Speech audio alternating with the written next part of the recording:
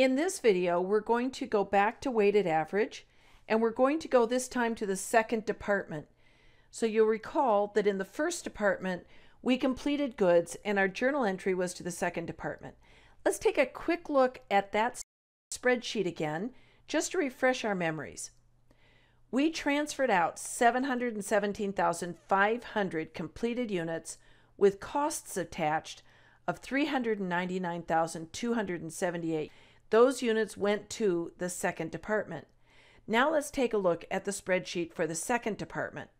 We want to add to this spreadsheet the goods that were transferred in while they're fresh in our minds 717,500 units at a cost of $399,278. Now, we probably had some units in beginning inventory, so we go and we check with the second department manager. There were 75,000 units that were transferred in last month that we still haven't completed. Those units have transferred in costs associated with them in the amount of $43,500. To those units, we've not yet added any materials. In this example, materials are going to be added at the end of the process. So we haven't added any materials yet, but we have added $2,500 worth of conversion. So the total costs at the beginning of the period were 46,000. During the course of the month, we add $180,800 of materials and an additional $538,575 of conversion costs. So during the month, including the costs that were transferred in from Department 1, we have added $1,118,653. When we want to find out how much we need to account for, we are again just going to add the two amounts the amount that we had in the beginning inventory plus the amount that we added during the month, and that is going to give us the value that we have to account for. Transferred in units are always considered to be 100% complete. They are coming from the other department. They're already 100% complete with respect to being transferred in. So these will always show transferred in beginning and ending degree of completion at 100%. Materials are ended at the end of the process. And so by definition, if we have any units left in work in process, at the end of the period. We have not added any materials to them yet. And so that's going to be 0%. And again, it should be 0% at the beginning and at the end of each period. Conversion costs, we have to ask the plant manager. We find out that in this case, conversion is 60% complete. The next step is to figure out how many units we actually completed. Again, we check with the records or we check with the plant manager and we find out that we completed 754,500 units, leaving 38,000 in ending inventory. So let's start our equivalent unit calculations with the transferred in units. We have 754,500 completed units, always 100% complete.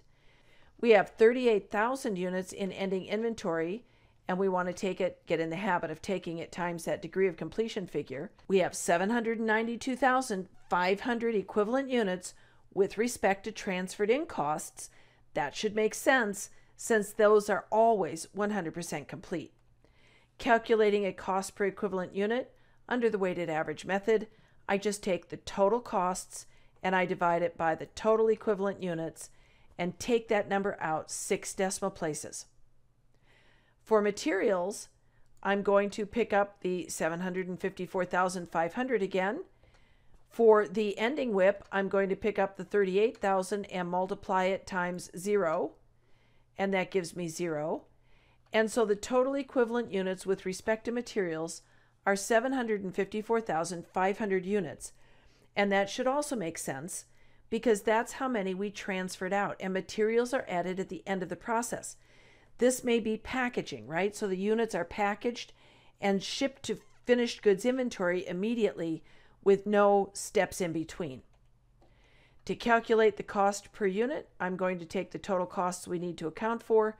I'm going to divide that by total equivalent units, and take that number out six decimal places. For conversion, again, I have 754,500 units that are 100% complete because we transferred them out. I have 38,000 units that are only 60% complete. So that's equivalent units of 22,800. And I'm going to add those two numbers together, giving me equivalent units of 777,300 units. To calculate equivalent cost per unit, I'm going to take total costs and divide it by the total number of equivalent units. That leaves me with this number six digits long again. Okay, so I want to calculate how much transferred in costs are transferred out as part of finished goods inventory. I'm going to multiply the completed number times the cost per equivalent unit. And I can just copy that formula across. That is the same formula, right? Every time is going to be the numbers in this row multiplied by the numbers in this row. For ending inventory, I'm going to pick up the ending WIP times the cost per equivalent unit, and I'm going to do that every time. So I can just multiply that across. So the costs that are transferred out are these three numbers totaled. The ending inventory value is these three numbers totaled. Now let's do our check figures. So for this one, I have my total cost to account for, less what's transferred out, less what is staying put, and that gives me zero. I should be able to copy that formula all the way across and get zeros in all cases, and I did.